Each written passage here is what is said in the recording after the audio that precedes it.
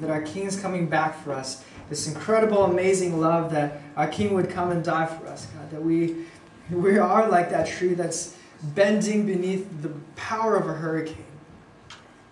We're overwhelmed by your love. We're overwhelmed by everything that you did for us on the cross. We thank you, Jesus, for who you are and for your place in glory and supremacy. And Jesus, we're looking for that day when we hear the trumpet sound and we look to the heavens and we see you riding back on a cloud of fire, God. Thank you, Jesus.